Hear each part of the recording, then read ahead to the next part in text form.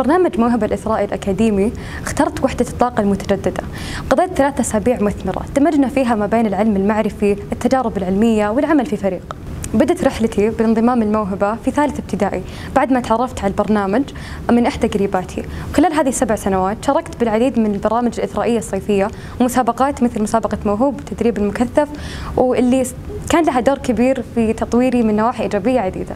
استفدت من نواحي عديدة نواحي اجتماعية وشخصية ولقيت ناس يشاركوني نفس الاهتمامات ولقيت مكان أنتمي له ساعدتني برامج موهبة الإثرائية على رسم خططي المستقبلية.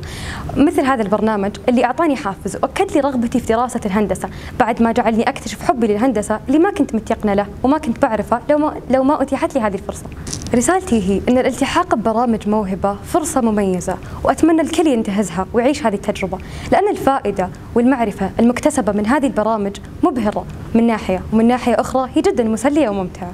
أود أن أشكر مؤسسة الملك عبد العزيز ورجاله للموهبة والإبداع على تنظيم البرنامج بأكمله وجامعة الملك سعود بكادرها التعليمي لحرصهم على إيصال المعلومة بطرق أكثر من رائعة. وما راح أنسى أشكر المتطوعات وطالبات الجامعة وزميلاتي الموهوبات لإضافتهم لي الكثير وجعلهم هذه الأيام أكثر من رائعة. موهبة حيث تنتمي.